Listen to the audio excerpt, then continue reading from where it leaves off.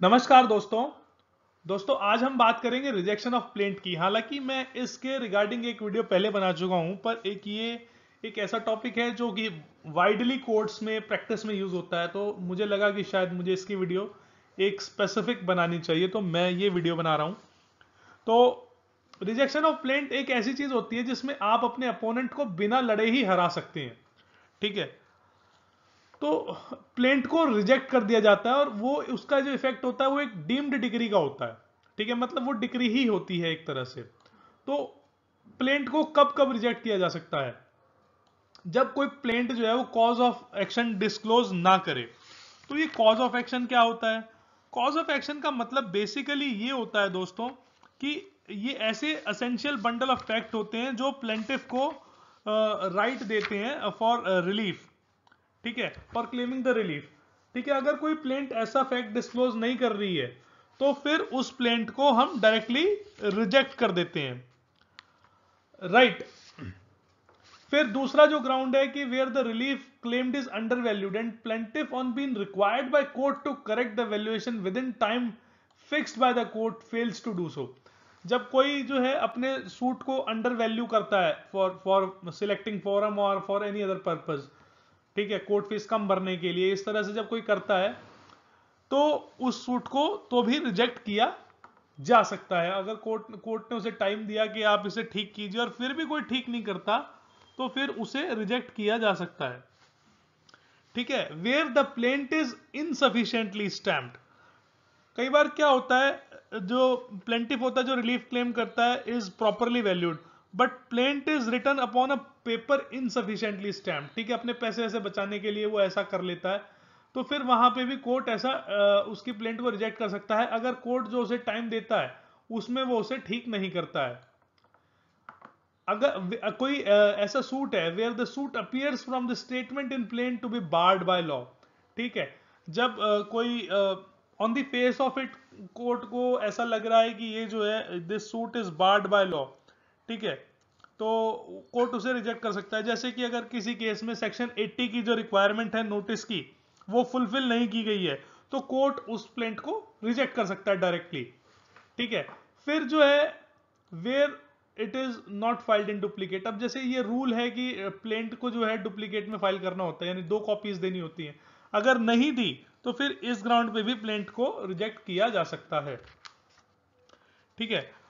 फिर लास्ट है where there is non compliance with the statutory provisions where the plaintiff fails to comply with order seven rule nine फिर वहाँ पे भी plaint को reject किया जा सकता है।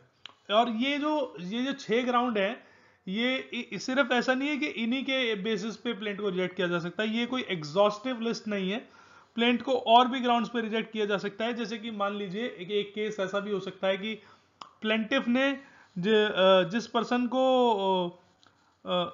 ऑथराइज ही नहीं किया साइन करने के लिए, उसने उसने प्लेंट को साइन कर दिया और फिर ये डिफेक्ट को क्योर भी नहीं किया जाता।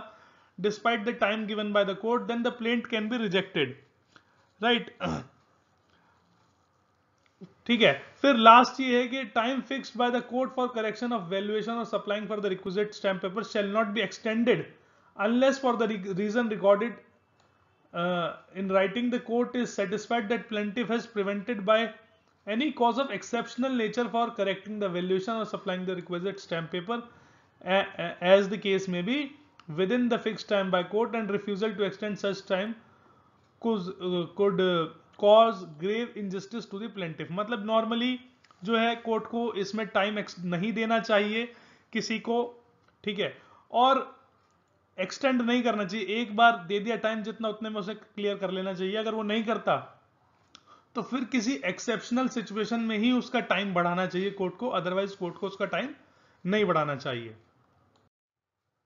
अब ऑर्डर सेवन रूल ट्वेल्व ये कहता है where a plaint is rejected the जज shall record an order to that effect with reason for such order ठीक है, अगर प्लेंट को रिजेक्ट कर दिया जाता है तो फिर उसके लिए एक डिटेल्ड ऑर्डर जज साहब को देना पड़ेगा। और जो ऑर्डर सेवन रूल थर्टीन ये कहता है कि अगर कोई प्लेंट रिजेक्ट हो गई है तो सेम कॉज ऑफ़ एक्शन पे प्लेंटिव का राइट right है कि वो दूसरी प्लेंट प्रेजेंट कर सकता है। ठीक है? Two there are two modes of rejecting a plaint defendant can file an application in form of interrogatory application at any stage of proceeding ठीक है? और दूसरा स्यूमोटो कोर्ट रिजेक्ट कर सकता है। ठीक है? एट इट्स ओन मोशन ठीक है?